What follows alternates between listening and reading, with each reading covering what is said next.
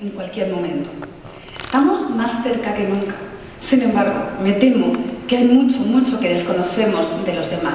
Desconocemos las diferencias y sobre todo, lo que yo creo que es peor, desconocemos todo lo que tenemos en común.